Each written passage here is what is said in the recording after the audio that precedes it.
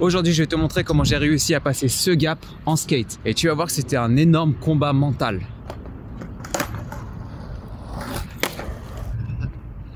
Déjà, je te recommande de savoir faire le caveman.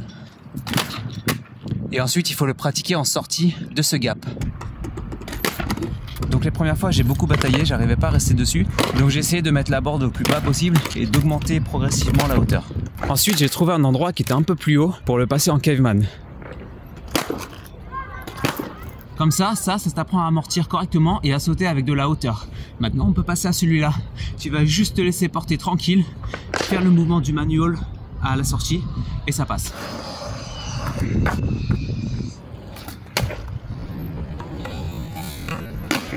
Pense surtout à bien fléchir tes jambes pour bien amortir. Maintenant, il me reste plus qu'à apprendre à sortir en holly et ça, c'est pas gagné, c'est mental.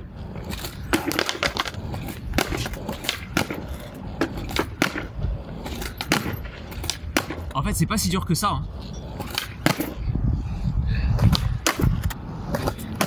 Bon bah maintenant il me reste plus qu'à le pratiquer encore et encore et encore jusqu'à ce que je l'ai proprement.